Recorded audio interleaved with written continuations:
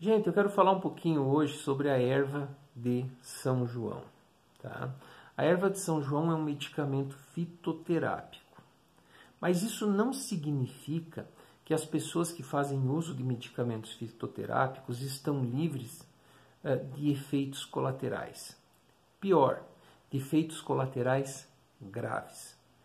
A minha sugestão a você é que você jamais dê ouvido a recomendações fajutas de internet e sempre procure um profissional, um profissional médico para te orientar é, diante de casos de depressão, ansiedade ou de qualquer outra condição de saúde mental.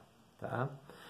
A erva de São João pode levar as pessoas que fazem uso dela a apresentar pelo menos quatro efeitos colaterais seríssimos, considerados gravíssimos.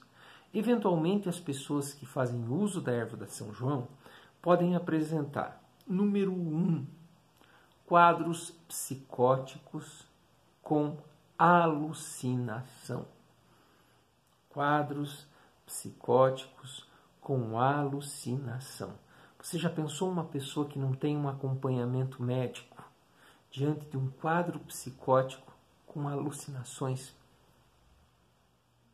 Eu não estou me referindo aqui a pessoas que tenham uh, um quadro anterior de psicoses ou psicose em família ou algo assim.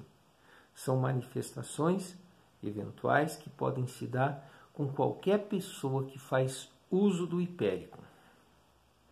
Tá? Essa é a primeira, é o primeiro efeito colateral grave que pode ocorrer. Tá? Segundo, crises maníacas.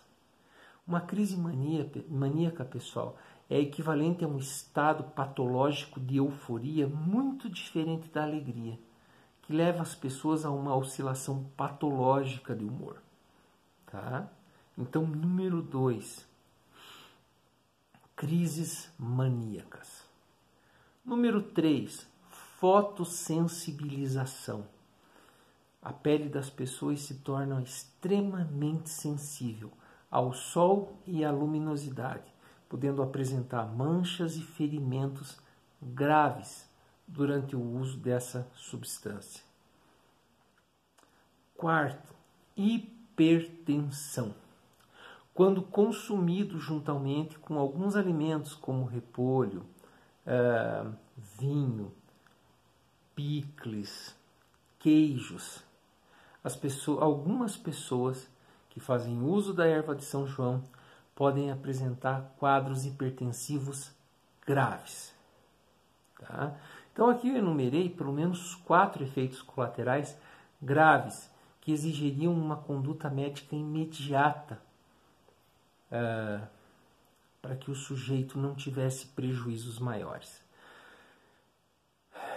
Eu lembro muito pouco, pessoal, agora a respeito das interações medicamentosas, mas não são todas as pessoas que podem utilizar o hipérico a erva de São João, porque ele interage com alguns medicamentos medicamentos, principalmente medicamentos de uso contínuo, tá?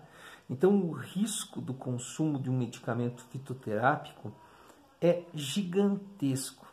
Não basta ler a bula. É importante que você tenha a orientação de um profissional médico. Tá bom, pessoal? Uh, eu insisto nisso, porque quem trabalha com saúde mental assiste determinadas coisas, vê determinadas situações que muitas vezes a gente pode considerar banais. Né? Às vezes, diante de um sofrimento, é muito fácil a gente dar ouvido a uma recomendação fajuta de internet, é, a um balconista de farmácia que nos oferece lá um produto qualquer, mas nada substitui a orientação médica. Tá ok? É isso. Boa noite.